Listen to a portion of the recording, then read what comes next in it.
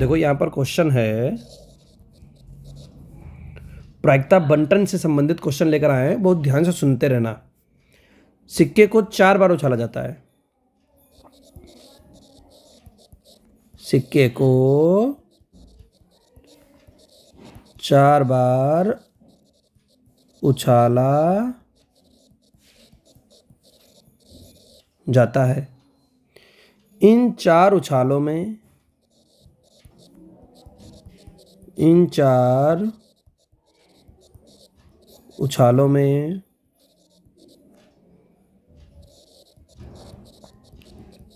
शीर्षों की संख्या का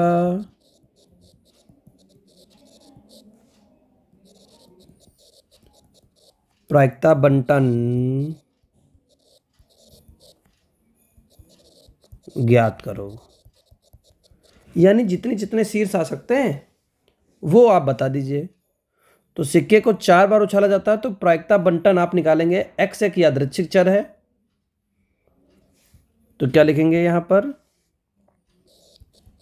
यादृच्छिक यादृच्छिक चर जो है वो हमारा क्या है? कैपिटल एक्स है। तो एक्स के मान कौन कौन से संभव हो सकते हैं? शीर्षों की संख्या। शीर्षों की संख्या दर्शा रहे हैं। जो ज़ीरो हो सकता है, एक हो सकता हो सकता है ज़ीरो शीर्ष मिले, एक शीर्ष मिले, दो शीर्ष मिले, तीन शीर्ष मिले, हो सकता है चारों शीर्ष मिल जाएँ। क्लियर है? क्या इतनी बात क्लियर है? अगर आपको ये काम लगता है कि चारों शीर्ष मिल सकते हैं तो अब उसने कहा, प्रायिकता बंटन निकालो। प्रायिकता बंटन का मतलब होता है कि चार के चारों जितनी कंडीशन बने, सबको निकाल के दिखा दो। और हो सकता है पेपर में किसी एक कंडीशन को पूछे। दोनों तरीके से। तो प्रोबेबिलिटी ऑफ़ हेड निकाल लीजिए कितनी निकल कर आएगी। हेड आने की संख्या कितनी होती है? प्रोबेबिलिटी ऑफ़ हेड एक सिक्के पर प्रोबेबिलिटी ऑफ़ हेड कितनी होती है? एक बटे दो। और प्रोबेबिलिटी ऑफ़ टेल कितनी होती है? वो भी होती है एक बटे दो। क्लियर है ना? तो हम निकालने जा रहे हैं प्रोबेबिलिटी ऑफ़ ज़ीरो हेड प्राप्त हो। तो इसका फॉर्मूला होता है। कितनी बार सिक्का उछाला जा रहा? है चार बार। तो लिखेंगे फोर सी ज़ीरो क्वेश्चन लगा रहे हैं हेड के लिए तो पहले हेड लिखेंगे। प्रोबेबिलिटी ऑफ़ हेड की पावर नीचे वाली इंटू प्रोबेबिलिटी ऑफ़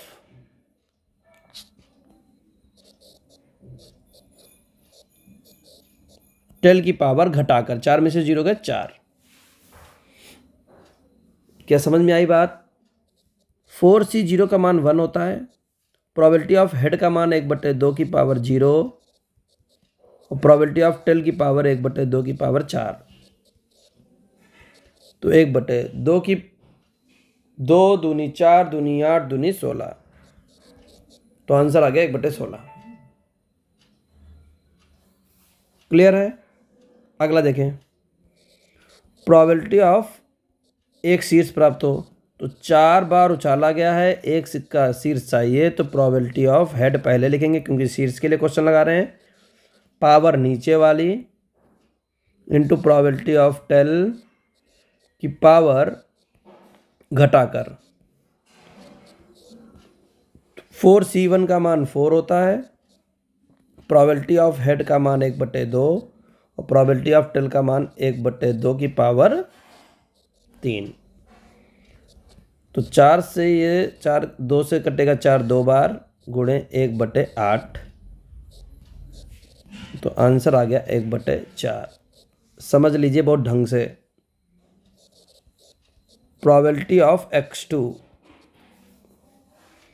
तो four C two probability of head की पावर नीचे वाली इंटू प्रोबेबिलिटी ऑफ़ टेल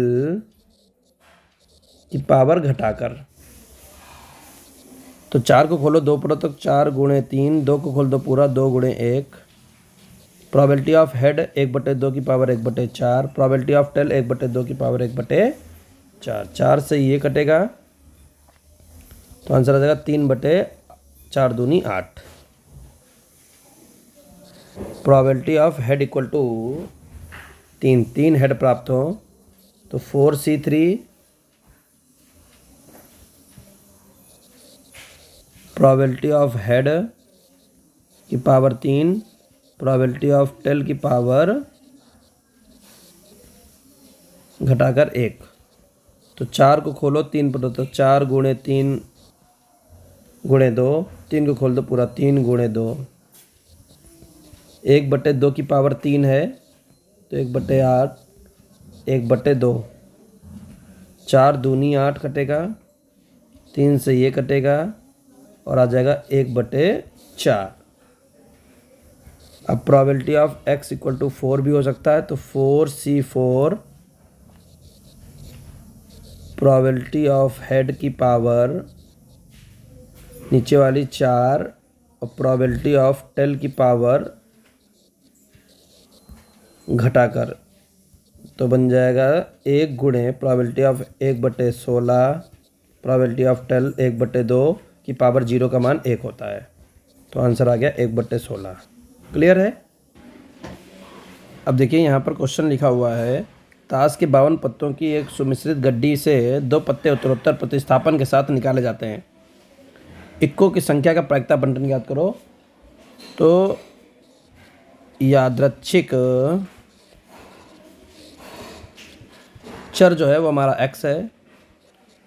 जहाँ पर एक्स क्या दर्शा रहा है? इक्को की संख्या को।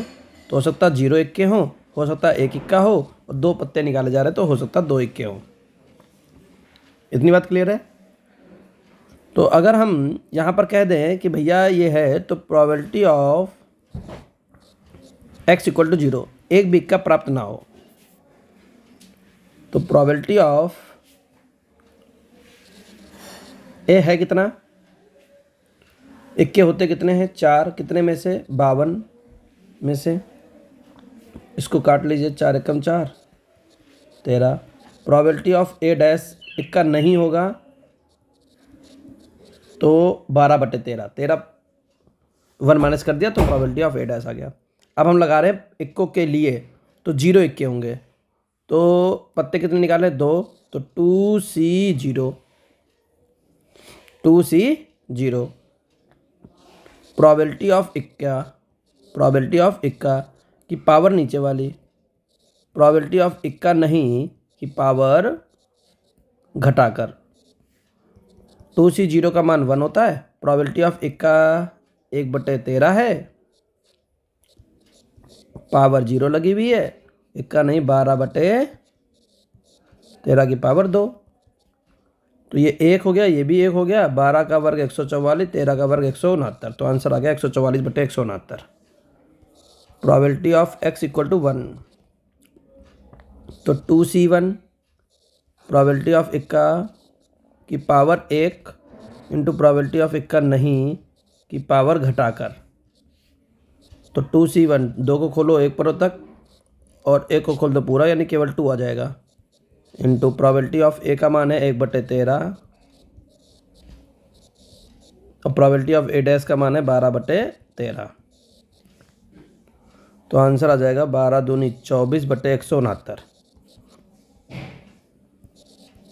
Probability of X equal to two तो two C two probability of A की power two into probability of A dash की पावर घटाकर। ज़ीरो तो टू सी टू का मान वन होता है।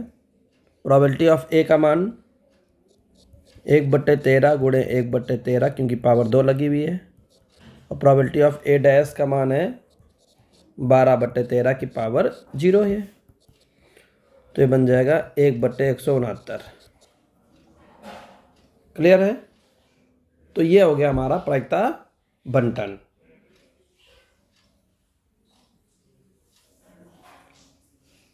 चलिए, उम्मीद करते हैं कि प्रायिकता बंटन का आप क्वेश्चन आप समझ गए होंगे। और देख लेते हैं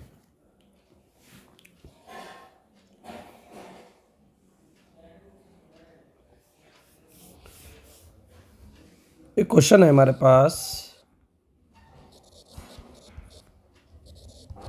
मान लें किसी यादृच्छिक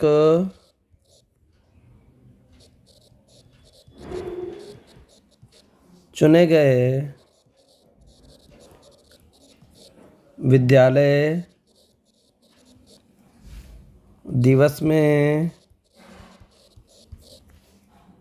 पढ़ाई के घंटों को कैपिटल एक्स से दर्शाया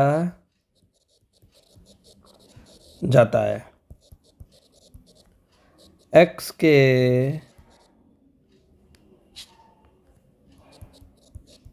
मान एक्स लेने की प्रायिकता निम्नलिखित है। जहाँ के एक वास्तविक संख्या है, जहाँ के एक वास्तविक संख्या है। तो P कैपिटल X बराबर X ज़ीरो पॉइंट वन, जब x बराबर ज़ीरो है के एक्स जब एक्स बराबर एक है और दो है के पाँच माइनस एक्स जब एक्स का मान तीन है, चार है, ज़ीरो अन्यथा।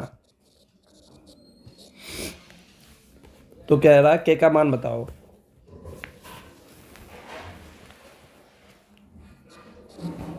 पहला पार्ट कह रहा के का मान बताओ। दूसरा पार्ट क्या कह रहा है? इस बात की क्या प्रायिकता है कि वह न्यूनतम दो घंटे पढ़ता है? न्यूनतम दो घंटे पढ़ता है, इस बात की प्रायिकता चाहिए। तथा दो घंटे पढ़ता है, ये दूसरा पॉइंट है। दो घंटे पढ़ता है।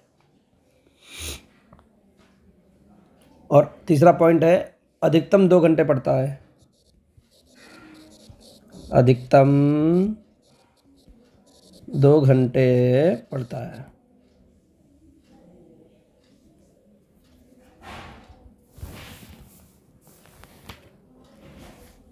तो पहले के का मान निकालेंगे। पहला पॉइंट लगाने के लिए के का मान चाहिए तो इन सब का योग कितना होगा? इन सब का योग कितना होगा? हमारा probability of X one plus probability of X two plus probability of X three plus probability of X four बराबर एक होता है। तो और प्रॉबलिटी ऑफ़ एक्स ज़ीरो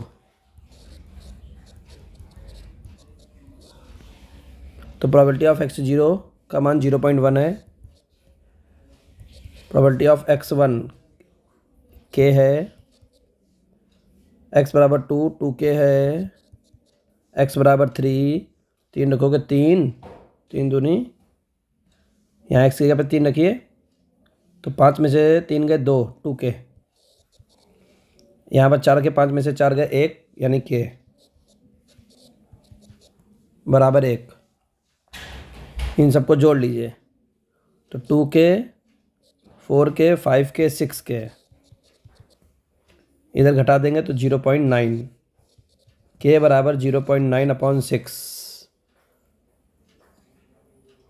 इसको काट देंगे तो ज़ीरो पॉइंट वन फाइव आ जाएगा। क्लियर है? जब दूसरा पार्ट पढ़ने जाएँगे तो कह रहा न्यूनतम दो घंटे पड़ता है। कम से कम दो घंटे पड़ता है, यानी probability of X two of X three plus probability of X four तीनों चाहिए। तो प्रोबेबिलिटी ऑफ़ एक्स टू का मान कितना है? टू के ऑफ़ एक्स थ्री का मान कितना है?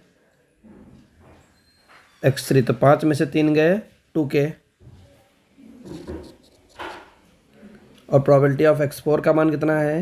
के चाहे यहाँ से देख लीजिए और चाहे यहाँ से देख लीजिए।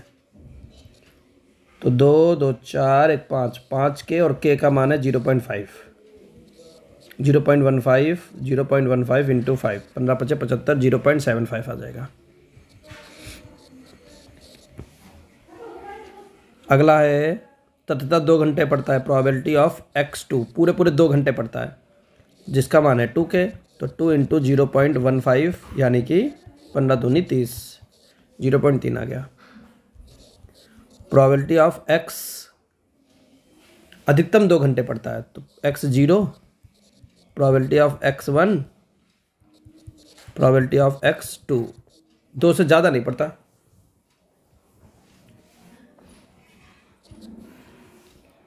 तो इसका मान है zero point one probability of X one का मान है, देख लीजिए ऊपर। प्रोबेबिलिटी ऑफ़ एक्स वन का मान क्या है? और प्रोबेबिलिटी ऑफ़ एक्स टू का मान टू के था ऊपर।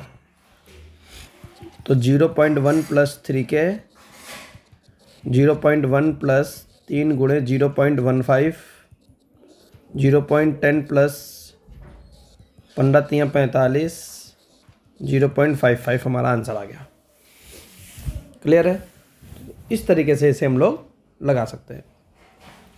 जैसे हम लोग यादृच्छिक चर निकालते हैं तो वहाँ पर हम लोग क्या करते हैं कि सारी वैल्यू ले लेते हैं। लेकिन इंडिविजुअल कोई एक मान पूछे, तब भी हम उसको बता सकते हैं। ठीक है ना? तो हम सारी वैल्यू ना निकाल कर केवल उतना ही निकाल सकते हैं।